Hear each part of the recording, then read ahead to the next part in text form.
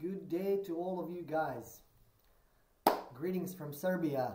My name is Nikola. I am usually uploading videos about um, proper usage, introductions, small tutorials about different Linux operating systems and distributions. Now, I haven't been active for a longer period of time with uploading because I'm quite busy working. I've changed changed job and changed the position. Now I'm one month away from my country, then one month almost back, and then when I'm back on my vacation, I have a lot of stuff to do, so I don't get much time to test, download, do some videos and stuff. But anyways, I got a little bit of time, and I downloaded um, PC Linux OS 2018 November edition, but with a Trinity desktop environment and it's a 64-bit operating system. I was uh, quite amazed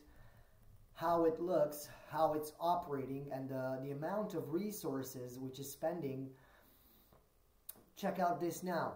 Uh, here is a small info about our machine, and uh, I'm doing this on a laptop. It's a um, Lenovo ThinkPad T410 model, which I upgraded a little bit, so it's an Intel i5 inside uh, on 2.667 gigahertz uh, but I've upgraded to RAM memory to 8 gigabytes and now you can see here that it's spending with all this recording only 573 megabytes of RAM which is half gigabyte and I still have available a lot uh, the second thing I did, I pulled out all the mechanical stuff from it. So I input one primary SSD Kingston hard disk, which is a dual boot for Windows and Linux. And the other one, I replaced the Blu-ray drive.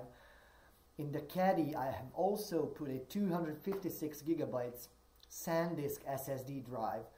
Um, also extended battery and blah blah blah blah blah but that's it about the laptop. These laptops are known for the quality and to work good to get your job done. But I was quite quite amazed with the stuff that this PC Linux OS is doing because okay I wanted to get a little bit retro to go back for this visual style of Windows 2000 Millennium and this uh, old Linux KDE 3.5 desktop, which I really liked. And uh, somebody is still maintaining this, as you can see.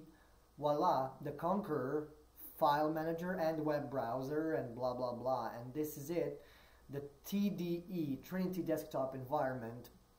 Now the start menu resembles Windows Vista which is not such a bad thing now at this moment because it fits in quite good. Um, it's also divided on categories development, edu uh, edutainment, but whatever this is, it's like education and entertainment. This is edutainment.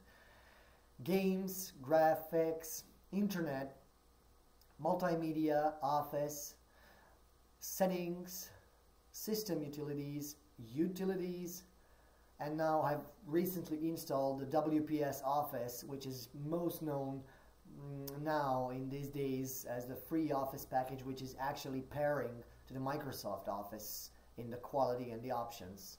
And you have the lost and found option. Wow, there is my software. Okay, let's link this to the desktop. YouTube downloader.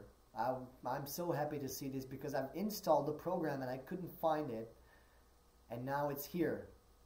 Wow. Okay, let's lock the icons. Ta-da! YouTube Downloader GUI, Graphical User Interface, which I cannot say that on Windows you can find one of these that it's working actually really good. In Linux distributions, a large variety of them, actually I think most of them, you can set up this little baby and it can download videos from tube-like sites for you in different quality and even extract the audio in high quality which is not what I can say for this YouTube downloader softwares for Windows.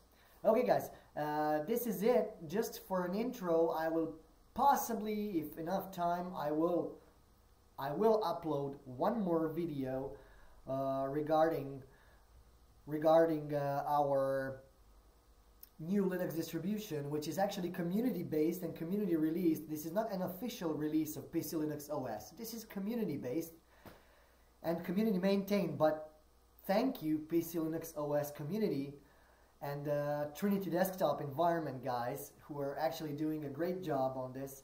And I think this is one of the most stable Linux distributions when it's paired with a Trinity Desktop environment. Stay cool. Best regards from Serbia and